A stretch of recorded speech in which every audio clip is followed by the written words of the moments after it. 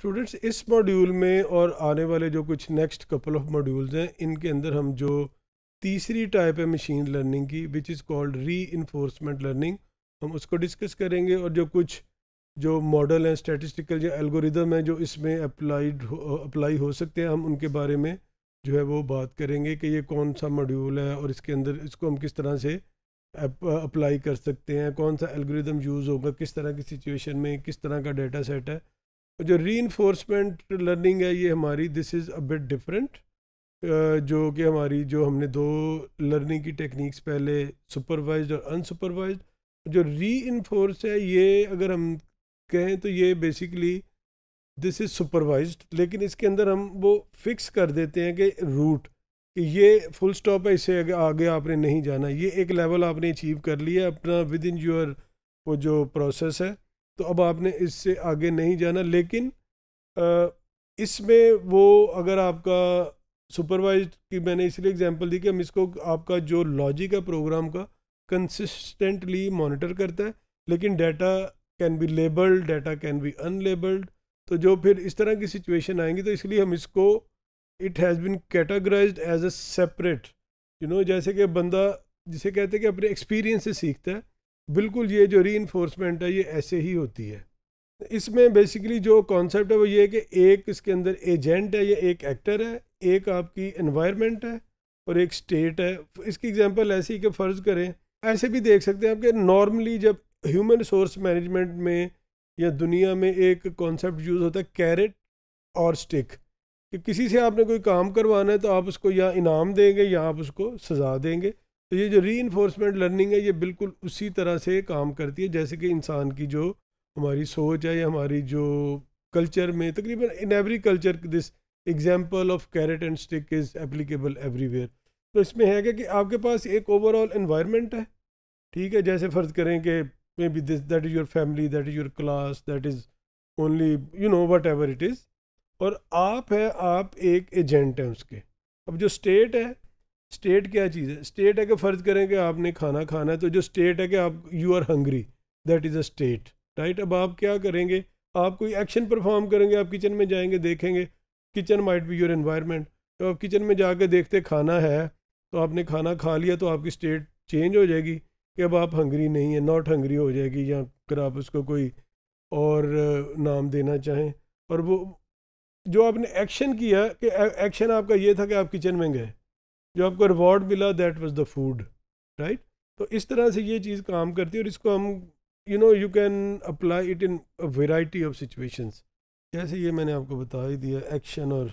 learn through trial and error ये इसमें definitely एक चीज़ इंपॉर्टेंट है। जैसे मैंने कहा कि जैसे ज़िंदगी में हम गलती करते हैं, हम सीखते हैं कि हमें पता चल जाता है कि ये आ गया, उसको हाथ लगाएँगे तो हाथ जल जाएगा।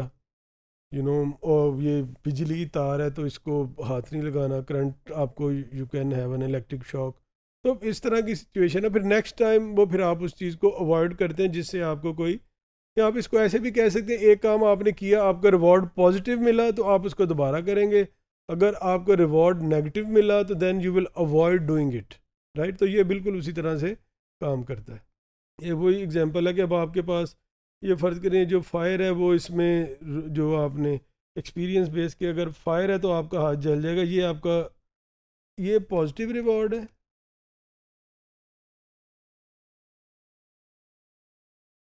और ये जो है, ये आपका नेगेटिव रिवॉर्ड है।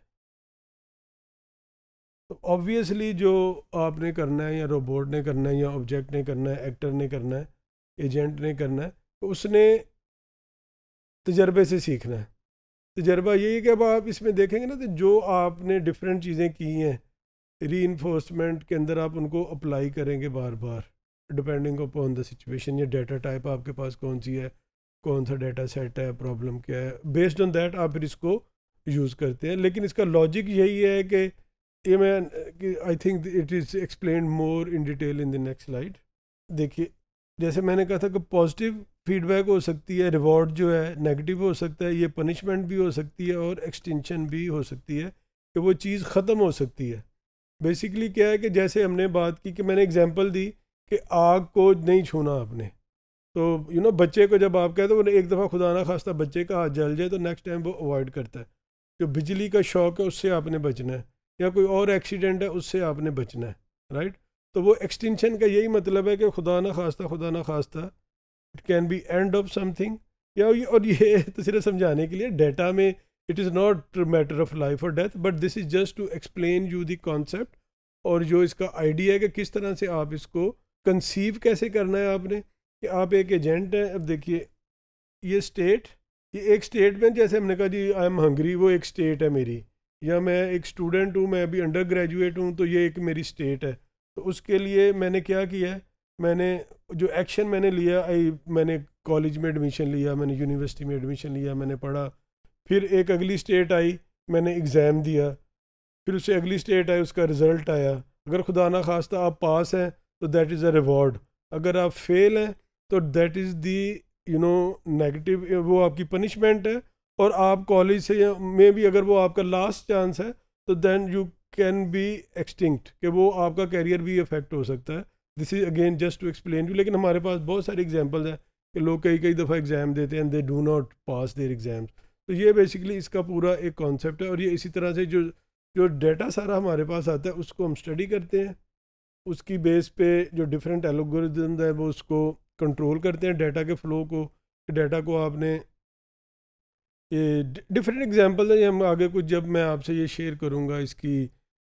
डिफरेंट एल्गोरिदम्स और उनकी एप्लीकेशन तो फिर उनको भी, वहाँ पे भी हम इसको डिस्कस करेंगे। बट जस्ट टू समराइज़ ये आप एक एजेंट है, आप समझें, या एक्टर है, वो आप खुद हैं एनवायरनमेंट है, वो आपका स्कूल है कॉलेज है, आपकी फैमिली है स्टेट है कि आप, फ़र्ज़ करें आपको भूख लगी है या आप एक पैसेंजर हैं।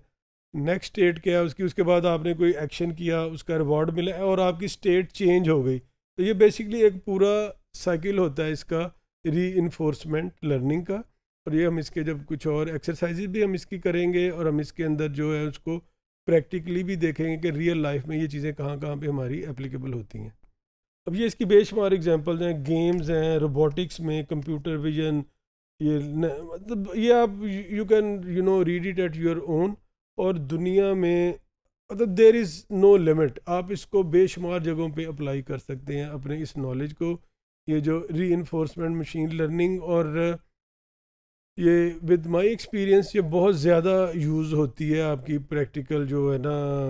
ये जो ट्रायल एंड एरर हम ज़िंदगी में करते हैं, बहुत सारी प्रैक्टिकल सिचुएशन में ये बेश आपके सामने है। रोबोटिक्स की मैंने एग्जांपल दी आपको, इसी अब हेल्थ साइंसेस की आप एग्जांपल ले लें, आप उसके अंदर पेशेंट हेल्थ केयर की एग्जांपल ले लें, आप देखें बिज़नेस के अंदर इसकी जो मैन्युफैक्चरिंग इज़ अनदर एरिया जो मैंने आपसे एक कॉन्सेप्ट डिस्कस किया था इंडस्ट्री फोर ज़ीरो उसके अंदर इसकी बहुत ज़्यादा एप्लीकेशन है और वो जो रोबोटिक क्योंकि जो इंडस्ट्री फोर ज़ीरो है रोबोटिक्स हैं, ये जो चीज़ें हैं, ये बहुत क्लोज़ हैं कि वो आप वहाँ पे आर्टिफिशियल इंटेलिजेंस भी यूज़ करते हैं मशीन लर्निंग भी यूज़ करते हैं। स्पेशली जब आप अपना जो कोई इक्विपमेंट है, आपकी कोई मशीन है, जब आप उसकी कैलिब्रेशन करते हैं, वो जो एरर जनरेट करती है मशीन वो जो ये जो डाटा फ़र्ज़ करें, जो आपके ना री लर्निंग का but this is very very interesting और बड़ा लंबा सब्जेक्ट है। इसको इनशाला we will discuss somewhere else या आप अपने तौर पे भी इसके ऊपर कुछ रिसर्च करेंगे तो यू विल अप्रिशिएट कि this is such a vast field कि आप सिर्फ़ इसके अंदर आई अर्ज़ यू कि आप इस चीज़ पे भी you can start thinking about this कि प्रैक्टिकल लाइफ में आप सिर्फ़ और सिर्फ़ री लर्निंग के एक्सपर्ट बन जाएँ और एक आपको मैन्युफैक्चरिंग इंडस्ट्री को अपना टारगेट करें फोकस करें तो you can lead a wonderful life as a data scientist